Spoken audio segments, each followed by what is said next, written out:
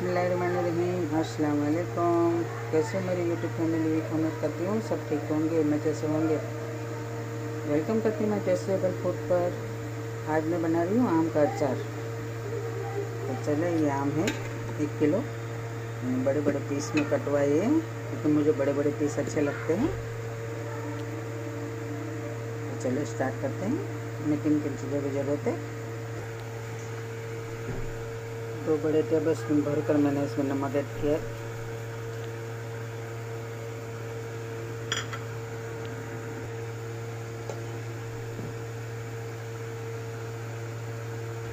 दो खाने के चम्मच मैंने हल्दी ऐड की है।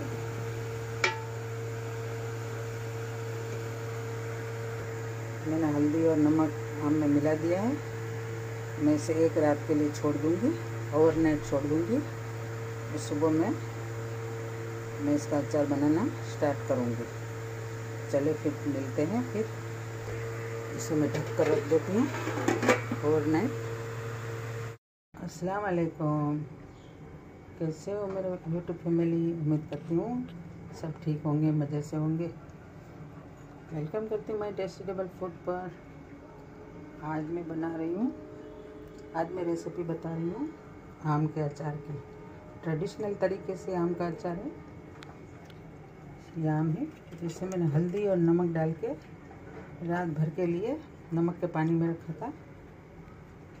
फिर उसको मैंने एक दिन के लिए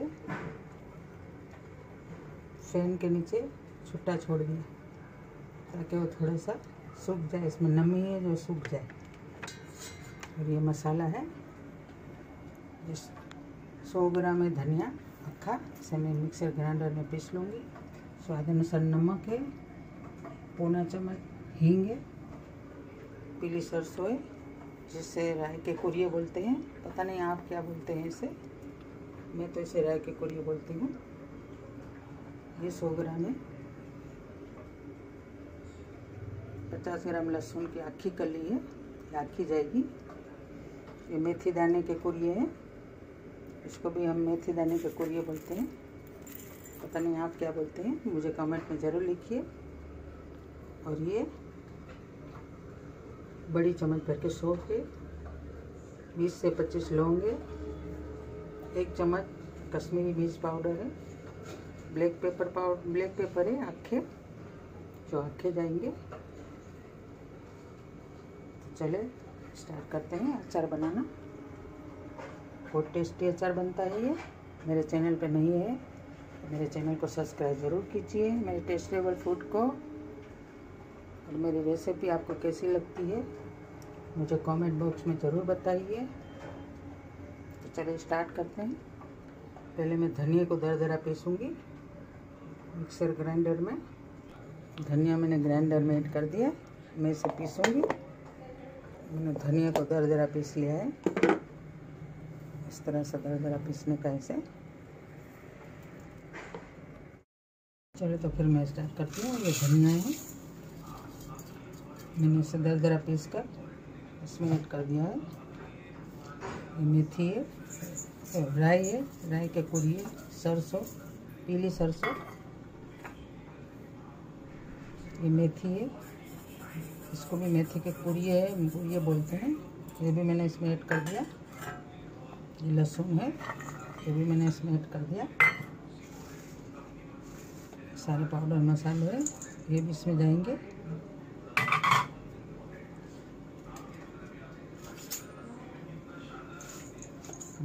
सबको मिक्स करूँगी।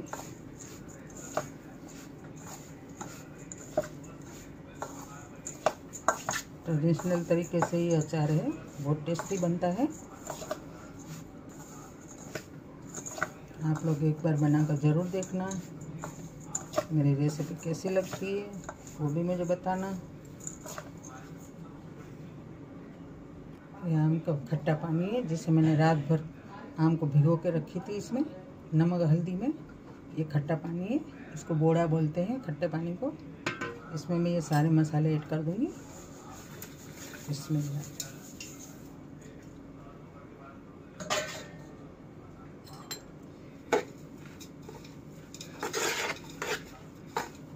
ये मसाले को इसमें मिक्स करके एक दिन के लिए हम रख देंगे, ताकि इसका खट्टापन पूरा मसाले में आ जाए।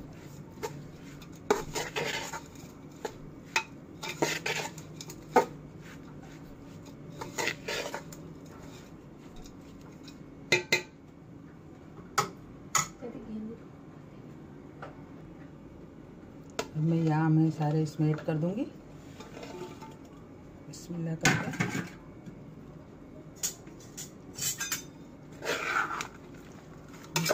अच्छी तरह से इसमें मिला दूँगी।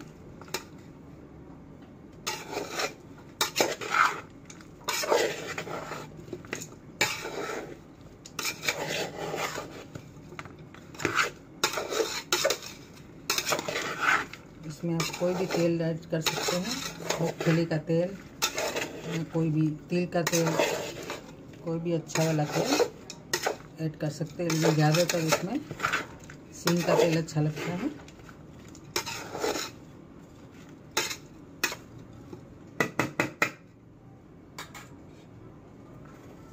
देखिए, ये मसाले सारे मिक्स हो गया, इसमें मैंने आम के पीस भी ऐड कर दिए और मैं इसे ढककर एक दिन के लिए रख दूँगी। एक एक तीन मतलब अभी तीन बजे हैं, कल सुबह तक इसे, इसी मसाले में रहने दूँगी। फिर मैं आपसे मिलती हूँ। इसे ढक कर रख दूँगी मैं एक रात के लिए। मुट्ठी धनिया भी ऐड किया है और हींग डालना भूल गई थी मैं सॉरी हींग एक चम्मच, स्वाद अनुसार नमक। अगर आप ज़्यादा नमक खाते हैं अचार में तो ज़्यादा डालिए क्योंकि हम ज़रा कम नमक खाते हैं, इसीलिए मैंने कम नमक डाला है। चलिए तो फिर अचार का हमारे क्या हाल है? मैंने एक रात पूरा इसको मसाले में डिप कर कर रखा था। खुशबू बहुत अच्छी आ रही है। अब मैं इसमें ऑयल ऐड करूँगी। ऑयल में ऑयल में मैंने कश्मीरी लाल मिर्च और पाँच हरी इलायची ऑयल को गरम किया सिंग तेल है ये। सिंग तेल को गरम किया, उसमें ठंडा हो गया, उसके बाद में एक चम्मच मैंने कश्मीरी मिर्च पाउडर सिर्फ़ कलर के लिए ऐड किया है और चार से पाँच हरी इलायची ऐड की है। और ये अब ठंडा हो चुका है।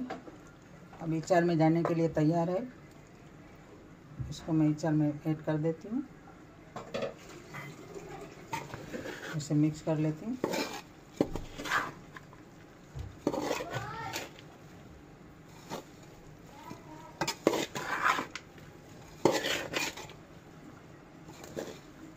बहुत अच्छी खुशबू आ रही है ये। ट्रेडिशनल तरीके से अचार बनाए हैं। और